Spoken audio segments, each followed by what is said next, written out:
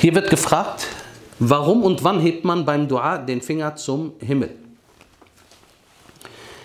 Äh, was wir überliefert haben, der Prophet sallallahu alaihi wasallam hat das getan auf der Mimbar, auf dem Podest, das heißt, wo der Khatib, der Prediger, wo er seine Rede hält.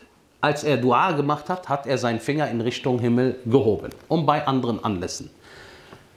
Deswegen ist dieses aber nicht eine Sache, die man bei jeder Gelegenheit macht. Es gibt Leute, es gibt Leute, äh, wenn sie nach dem Gebet die Shahada sagen, das heißt, sie zählen zum Beispiel 33 Mal Alhamdulillah, 33 Mal Subhanallah und so weiter und dann zum Schluss, wenn sie sagen, La ilaha illallah wahdahu la sharika lah, lahul mulk bis zum Ende, dann heben sie dabei den Finger. Das ist nicht von der Sunna.